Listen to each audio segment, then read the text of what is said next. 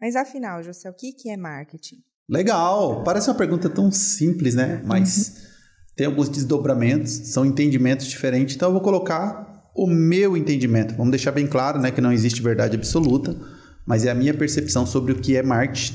Trouxe aqui anotadinho uhum. para não esquecer nada. Perfeito. Levei um tempo refletindo sobre isso. Como eu consigo é, explicar para as pessoas que dentro do meu do, do meu conhecimento o que, que eu acredito ser o marketing. Uhum. Marketing para mim é a arte de você combinar a estratégia, a experiência para gerar percepção de valor dentro de uma organização. O marketing é responsável por criar o como e depois dividir isso em tarefas de execução que levam ao resultado. Talvez tenha ficado um pouquinho complexo, mas eu é vou. É quase uma poesia. pois é, você viu que eu levei muito tempo para fazer isso daqui. Realmente ficou bem poético, mas eu vou explicar, né? Porque às vezes não ficou muito claro. Mas é que é bem complexo mesmo. E eu acho que é importante a gente já falar aqui qual que é a importância do marketing dentro de uma empresa. Legal, muito bom. Uma, uma estratégia de marketing bem executada, né? E quando a gente fala de marketing, existe vários departamentos.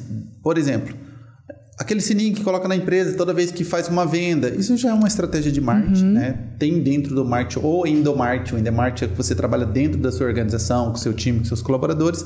Porém, no episódio aqui a gente vai focar em estratégias de marketing que direcione as pessoas a fazer mais vendas, né? Que esse é o objetivo do, da série que a gente montou de seis episódios, que é a máquina de vendas, como gerar resultados uhum. previsíveis, 20 vezes maiores. Então a gente vai mostrar como estratégia de marketing pode ajudar o empreendedor, as pessoas que estão aí, eh, que têm o seu negócio, né, a performar melhor, a ter melhores resultados.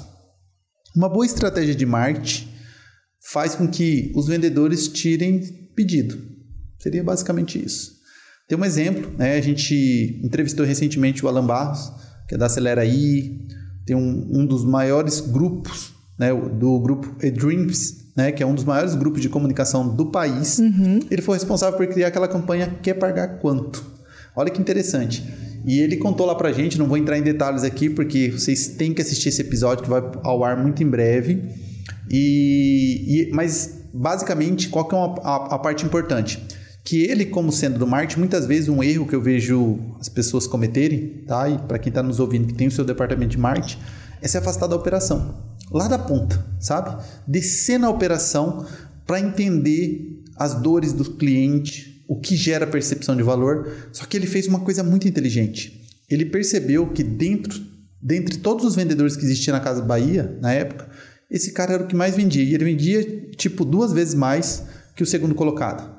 E ele falou assim: rapaz, o que, que o Zé faz para vender o que ele vende?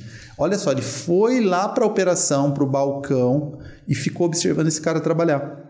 E aí ele percebeu que, né, primeiramente ele atendia ali três pessoas ao mesmo tempo, o que aumentava o volume de trabalho, e ele saía pegando o documento das pessoas como uma forma de reter a pessoa dentro da loja, né, falando, olha, me dá o seu documento aqui que eu já vou agilizar o teu cadastro.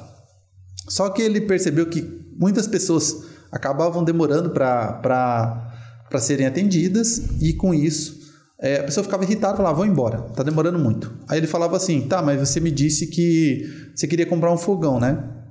Quer pagar quanto nesse fogão? Aí a pessoa falava, opa, como assim quer pagar quanto? Fica aí sentado que eu estou terminando o atendimento e a gente já volta a falar. Então o que, que ele fez ali?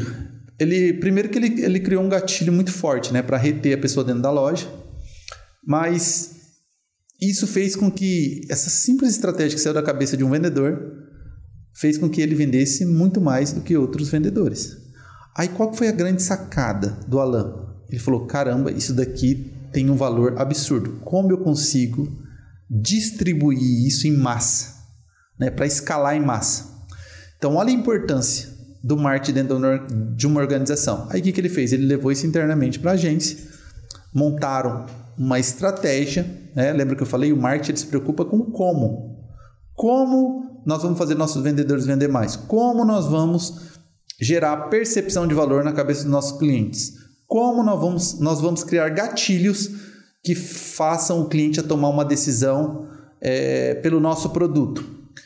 E depois isso vem sendo desdobrado em outras categorias, são tarefas que vão ser executadas uhum. por uma organização. Então, nesse caso, nós estamos falando o quê? Nós vamos falar mais de prospecção. Prospecção entra dentro do braço estratégico do do marketing, tá? Então o marketing ele é responsável pelo como e depois é, vem a parte da execução, né? E aí se desdobra em várias estratégias.